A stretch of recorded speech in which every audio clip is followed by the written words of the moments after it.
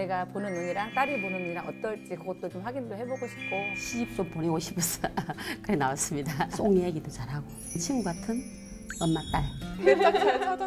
알았어, 엄마 노력할게. 따님과 어머님의 마음이 일치했을까요? 말도 안 돼. 이런 결과가. 딸의 속마음이 저런지 몰랐었네.